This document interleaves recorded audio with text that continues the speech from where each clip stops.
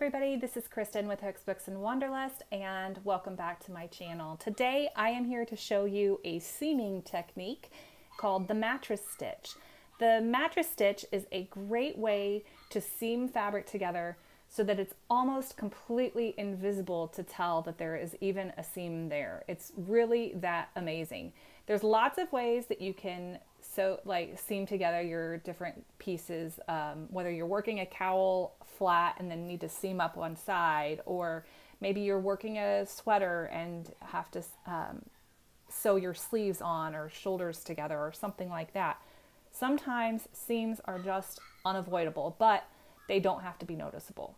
So today I'm going to show you how to make the mattress stitch, how to how to sew the mattress stitch because while this is a crochet tutorial, it is not a crochet stitch.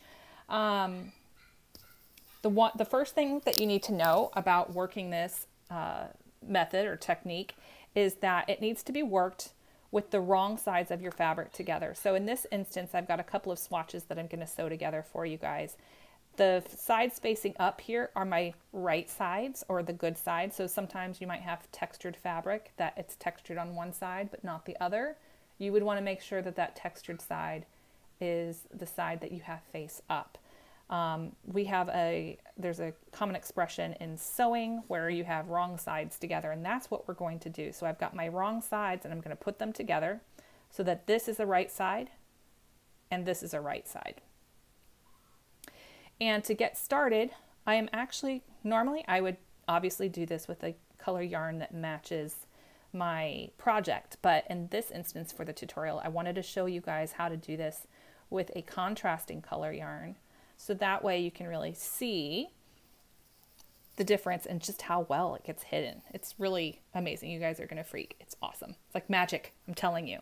All right, so normally when I do this too, um, you know, I'm not cutting a separate piece of yarn. I've usually tied off my uh, my work somewhere and I've left a really long tail to sew things together. So that's something that you would want to make sure that you have done as well.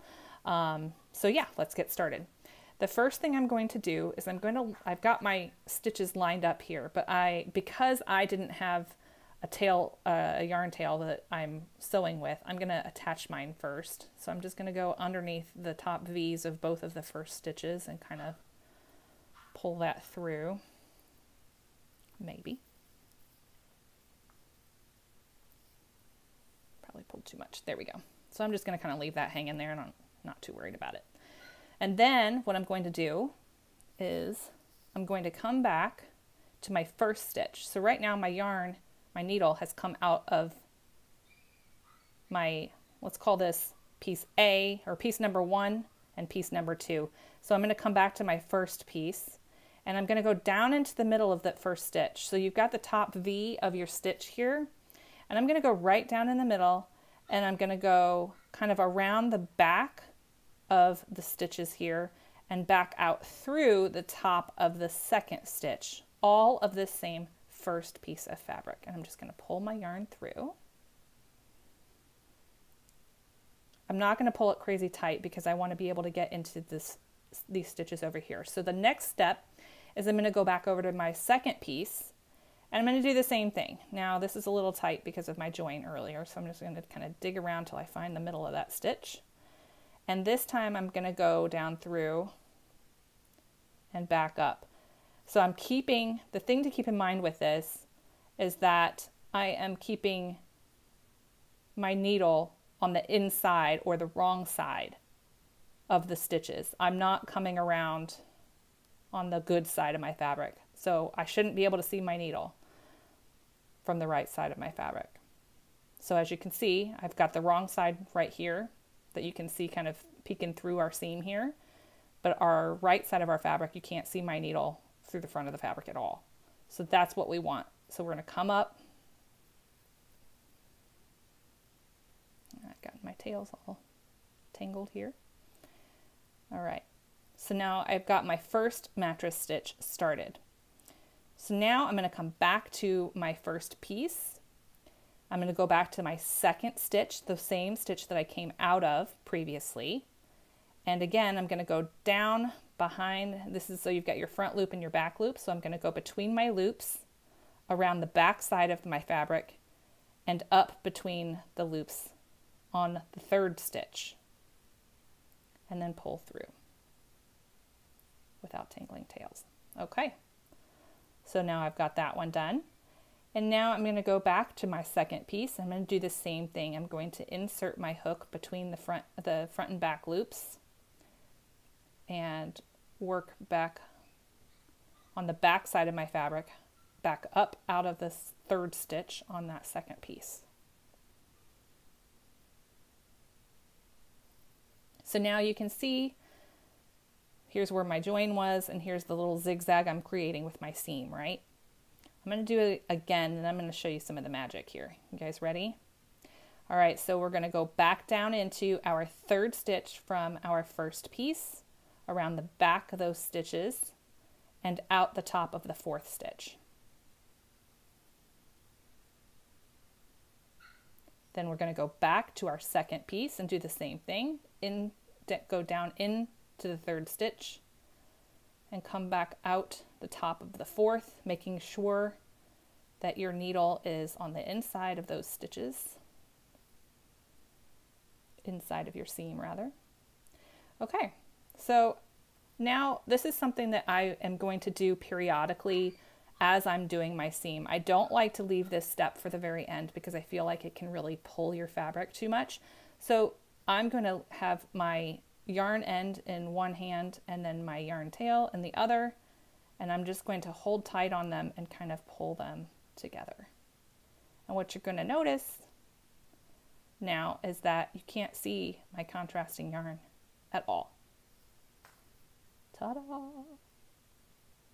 Okay, so let's keep going. I'm going to just keep showing you guys because I know sometimes it can get a little confusing. So let's just keep going and I'm going to keep showing you here. So after I tightened it, it is a little tight. Um, I'm going to have to wedge my needle back in through that last stitch. So just always remember that you're coming, you're going to start on the same stitch that you came out of previously.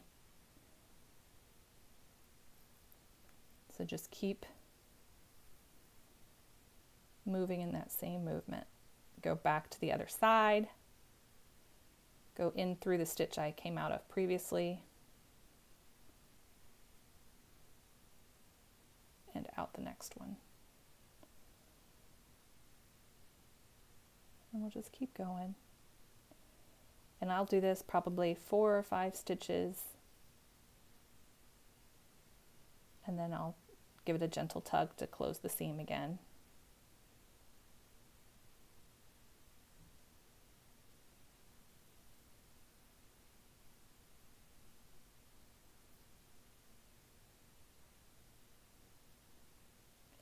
Think when I first learned how to do this stitch, the trickiest thing for me was remembering which direction I needed to push my needle.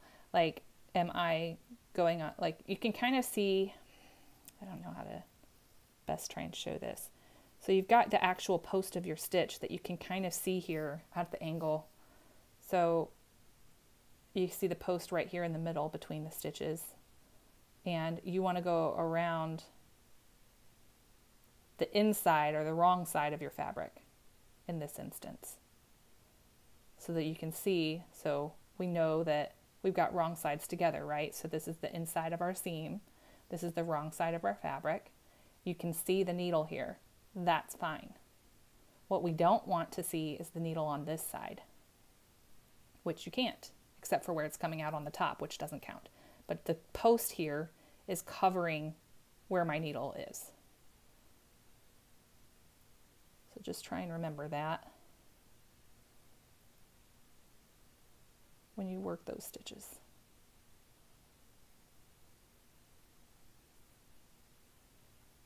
Okay, and so now I'm going to give it another gentle tightening.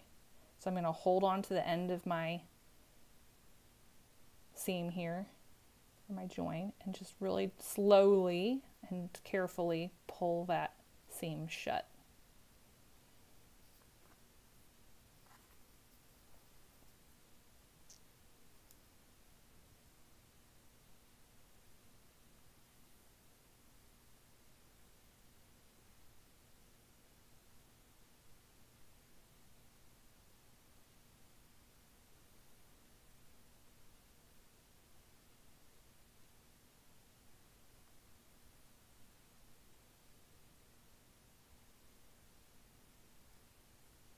Always trying to be careful about grabbing those loops in the right spot.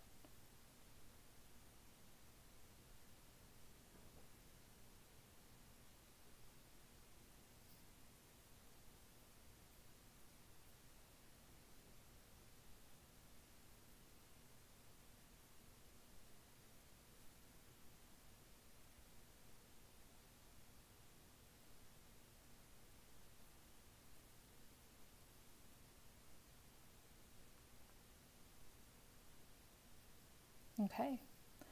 And again, I'm going to do a little tightening. All right.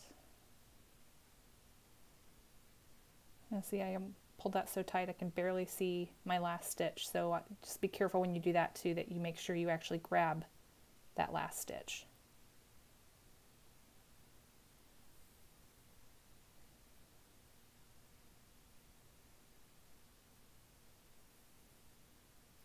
Keep snagging myself on my swatch.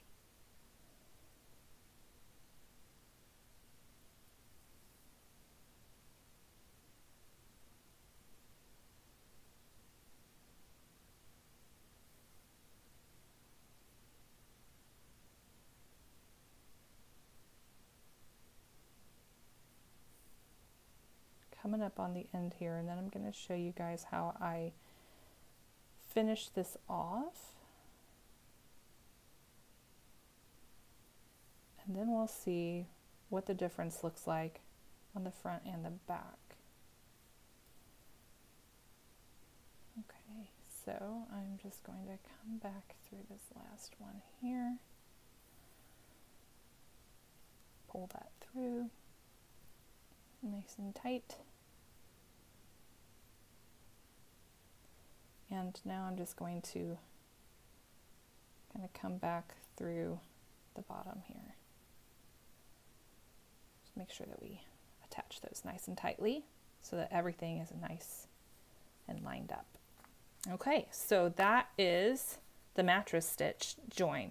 So now look at this. You can barely even tell that it's there. It's really unnoticeable. I mean, yeah, it's a seam, it is there, but come on, you can barely notice it, right? Let's look at the back. This is why we do this on the right sides out or wrong sides together. Because then when you turn it over and you look at the seam on the other side, it's still barely noticeable. You can still barely see the contrast color yarn, but it is there. The difference is um, that the seam is got like this bumpy ridge to it, whereas the front is very flat. So it's joined those stitches and kind of like they're just kissing each other there. And on the back is where we've gotten all those inside loops of our seam that have been joined together. So we get this kind of bumpy ridge. So that is how you work the mattress stitch. I hope that you are able to practice this. It does take some practice and it does take some getting used to. Definitely take your time and keep practicing it though, because I think that once you get the hang of it, it's going to be your go to seaming choice. It definitely is mine. So I hope you enjoyed this tutorial. Uh, be sure to give it a thumbs up and like that video for me if you did. Uh, if you have any questions or comments, leave those in the comments below and I will do my best to answer them. And um, I will be putting a photo tutorial for this up on my blog as well. Sometimes it's nice to kind of slow down and I can show angles and such better on photos sometimes than it's easier to on videos. They have their they both have their pros and cons. So that will be available for you guys as well. Um, that's all I've got for you guys today. Make sure that you like the video and subscribe to the channel, and I will catch you guys back here the next time. Bye.